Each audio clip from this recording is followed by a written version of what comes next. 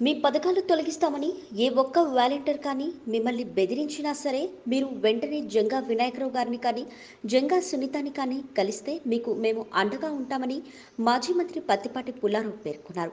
నేను మంత్రిగా ఎప్పుడూ నా పరిధిని దాటి వెళ్ళలేదు. మీరు ఎమ్మెల్యేగా పరిధులు దాటి భయభ్రాంతులకు గురి చేస్తే రేపు గవర్నమెంట్ పోయాక ప్రజలే తిరుగుబాటు చేస్తారని హెచ్చరించారు. శాసనసభ్యుడిగా మంత్రిగా ముఖ్యమంత్రిగా ఎవరు పరిధిలో వారు ఉంటే ప్రజాస్వామ్యంలో ఎవరికి ఇబ్బందులు ఉండవని మీ మీద ఒక కేసు పెడితే నాలుగు కేసులు పెడతామని చెప్పండి. ఆడబిడ్డలందరూ ఎదురు తిరిగితే జగన్ రెడ్డి ఇంట్లో నుంచి కూడా బయటకు రాలేడని హెచ్చరించారు. ఒక ఛాన్స్ అంటూ ఓట్లు వేయించుకొని మోసం చేశారని ఈసారి ఫ్యాన్కు ఓట్లు వేయడానికి ఎవరు సిద్ధంగా లేరని ఎన్నికలు పెట్టినా తెలుగుదేశం పార్టీ అధికారంలోకి రావడం ఖాయమంటూ చిలకలూరుపేట పట్టణంలోని ముప్పై ఎనిమిదో వార్డులో జంగా వినాయకరావు గారి ఆధ్వర్యంలో జరిగిన గౌరవ సభలో మాజీ మంత్రి పత్తిపాటి పుల్లారావు పేర్కొన్నారు.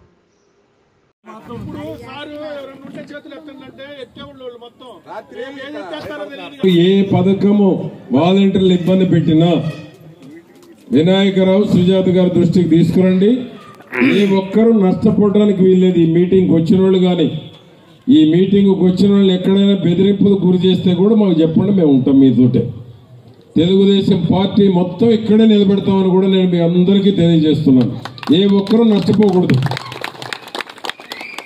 ఎందుకంటే వాలంటీర్లు బెదిరిస్తారు వాళ్ళు బెదిరిస్తారు. ఎవరు బెదిరియటానికి మీరు మీరేమైనా శాశ్వతమా? మీరేమైనా శాశ్వతమా అధికారంలో? రేపు ఎన్నికలు వస్తే ఇంటికి పోతారు. ఎవరిని బెదిరిస్తారు మీరు? ఇంటికి పోయిన తెల్లారు మిమ్మల్ని అందరూ బెదిరిస్తారు. ఏమో బెదిరిస్తారా లేదా?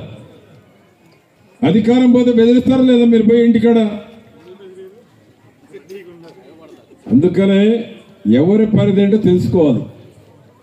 నేను మంత్రి ఉన్నా ఎప్పుడు పరిధి దాటి పోలేదు. మీరు ఎమ్మెల్యేకే పరిధులు దాటి భయప్రాంతం చేస్తే రేపు గవర్నమెంట్ పోయినాక ప్రజలు తిరుగుబాటు చేస్తారు. అందుకని ఎవరి పరిధి ఏంటి? ఎమ్మెల్యే పరిధి ఏంటి? మంత్రి పరిధి ఏంటి? ముఖ్యమంత్రి పరిధి ఏంటి? ఆ పరిధిలో ఉంటే ప్రజాస్వామ్యంలో ఎవరికి ఇబ్బందులు ఉండవు. పరిధి కూడా అవగాహన ఉండాలి. అధికారం ఉంది నేను ఏమైనా చేస్తానంటే అధికారం ఎవరికి శాశ్వతం కాదు. ఇందిరాగాంధీ లాంటి వాళ్ళు ఏమైపోయారో మీరు చూశారు. అంతకన్నా గొప్ప నేత ఎవరు లేరు కదా?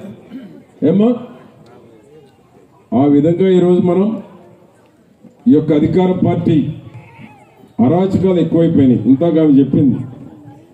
ఒక కేసు పెడితే నాలుగు పెడతాను ఆ విధంగా తయారవ్వాలి మనం. ఆడబిడ్డలందరూ తిరగబడితే జగన్మోహన్ రెడ్డి బయటికి కూడా రాలేదు. మొన్న మోసం చేసి ఓట్లు వేయించుకున్నాడు. మళ్ళా రెండోసారి వేయటానికి సిద్ధంగా ఎవరు లేరు. ఫ్యాన్ కోటేసిన వాళ్ళే ఈరోజు సగం మంది మళ్ళా సైకిల్ గేయడానికి సిద్ధంగా ఉన్నారు. ఈ రోజు ఎన్నికలు పెట్టినా తెలుగుదేశమే మళ్ళా అధికారంలోకి రావటం ఖాయమని నేను మీకు తెలియజేస్తున్నాను. కనుక మా వినాయకరావు చెప్పినట్టు వాలంటీర్లు మిమ్మల్ని ఎక్కడ ఇబ్బంది పెట్టినా మీరు భయపడొద్దు. గట్టిగా మాట్లాడండి. వాళ్ళు మనలాంటి మనుషులే. రేపు మళ్ళా రెండేళ్ళ తర్వాత తెలుగుదేశం వస్తే వాళ్ళు మళ్ళీ ఇక్కడ పనిచేయాలి. కాబట్టి ఎవరికి భయపడాల్సినటువంటి